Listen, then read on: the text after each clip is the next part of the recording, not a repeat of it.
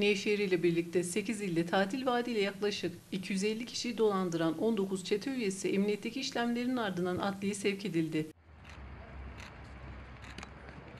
Edinilen bilgiye göre Nevşehir'de internet sitesinden bungalovda tatil reklamlarını gören Mustafa isimli vatandaş reklamlarda yer alan telefon numarasını arayarak tatil için rezervasyon yaptırdı. Ödemeyi de peşin olarak gönderen Mustafa daha sonra kendisini arayan şahıslar ek para talep edince dolandırıldığını anlayarak Nevşehir Emniyet Müdürlüğü Siber Suçlarla Mücadele Şube Müdürlüğü'ne şikayette bulundu. Şikayet üzerine ekipler tarafından yapılan 3 aylık fiziki ve teknik çalışmalarda şüphelilerin sosyal medya üzerinden kiralık bungalov teması kullanarak oluşturdukları site üzerinden oltalama sistemini kullanarak 250'den fazla kişiyi dolandırdıkları tespit edildi. Isparta, Mersin, Konya, Samsun, Van, Adana, Osmaniye ve Batman illerinde yapılan eş zamanlı operasyonlarda aralarında örgüt lideri Ali Can Ö ve Kemal Ö'nün de bulunduğu 25 şahıs gözaltına alındı. Operasyonda 500 bin lira nakit para ve döviz, 102 gram altın, 2 ruhsatsız silah, 50 adet mermi ve çok sayıda dijital materyal ele geçirildi. Yakalanan şüphelilerden 6'sı emniyetteki işlemlerin ardından serbest bırakılırken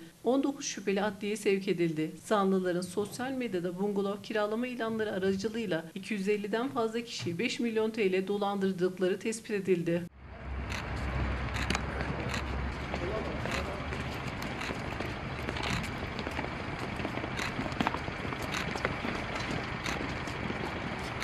Allah ellerini bulaya.